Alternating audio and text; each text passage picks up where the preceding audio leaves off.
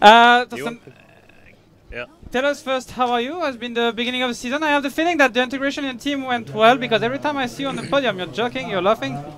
Yeah, I think it was uh, really well. Huh? I was rooming with Pello in December camp, and he was super taking care of me. And now with Wout and Jack and yeah, the other guys, they are really taking care of me. So I feel already like I've been there for a long time. Yeah.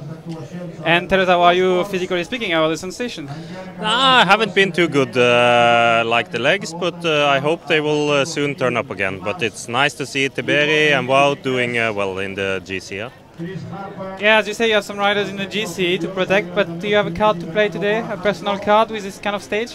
Yeah, we will see how it goes. I think uh, a lot of people will uh, go for the breakaway, so then we will see uh, yeah, how it turns out and if we can have somebody there and make the right breakaway and see see how the legs are going then. Beyond today, how you imagine your season? What are the, the, the goals that you, you ticked out?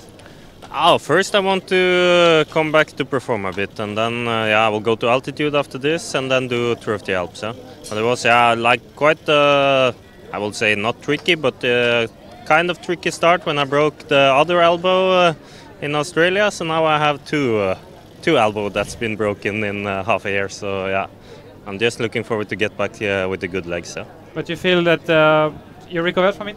Yeah, yeah, yeah. I feel like I recover, and we have also super good med- uh, medical team. So uh, I'm really been looked after, and then yeah, I hope the legs soon turn up again. I wish you then all the best. Thank, Thank you. you very much.